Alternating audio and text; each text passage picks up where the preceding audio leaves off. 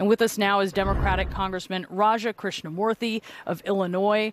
Uh, great to have you. Welcome. Uh, thank you so much uh, for being with us. What do you want to hear from President Biden tonight? Well, I think that it's going to be a celebration of Joe Biden. He's going to be talking about his accomplishments, and he has a lot to talk about.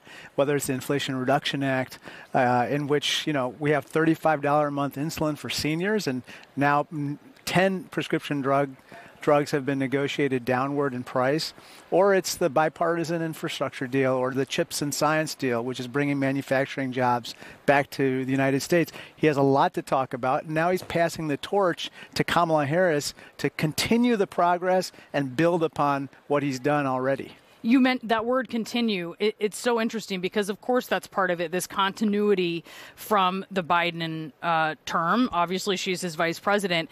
But whatever you think of of his record when it comes to the economy, inflation, immigration, polls show that perception of his performance on those issues are not so good. So how does she navigate that sort of that continuity, but also seeking some distance from Biden?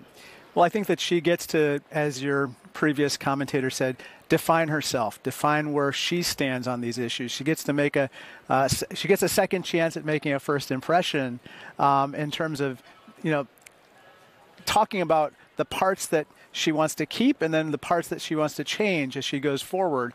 And that's based on her experience as being vice president. And so I think um, this is a real key moment for the country to learn how she's thinking about these issues as well. The Biden economy, as it is perceived by voters, by all voters, does she own that? I think that she owns certain parts, but she also gets to decide, you know, what she would change going forward. So, for instance, you know, talking about making sure that our markets uh, perform better in terms of competition, making sure that we get rid of barriers to entry by small businesses so that we can bring down prices and increase the supply of everything from goods and services to housing. Um, I think those are all things that she's going to be talking about. I'm I'm curious how you, as a proud Indian American, are experiencing this week so far, what this means to you as you are going to be watching the first candidate of Indian heritage accepting the nomination of your party. Oh, it's huge, huge, huge moment of pride.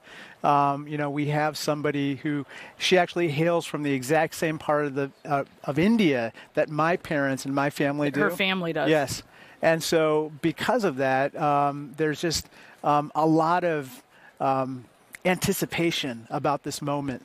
And uh, we're going to have, uh, you know, uh, someone who was a member of the Samosa caucus in Congress, you know, go to the White House and bring some curry power, power to uh, to the new ticket.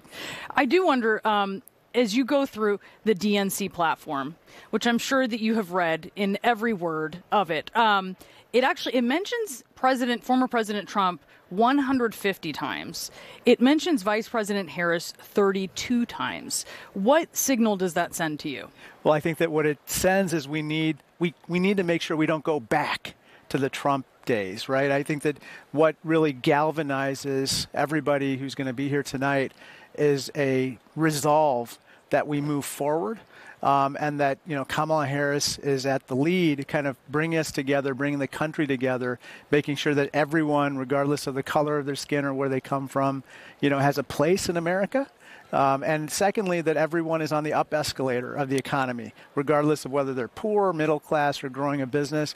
And so I think we can't go back to a time, an age of Trump where, you know, the country's divided. And when you're divided, you can't unite against our common challenges. You wish she had more mentions in that platform? Oh, I think that she has 150 to 32. I think she has plenty, and she's going to have a lot to say this week. Yeah, it's going to be obviously a very big week. Congressman, thank you so much. Really appreciate thank you, Brianna. At the beginning of this week.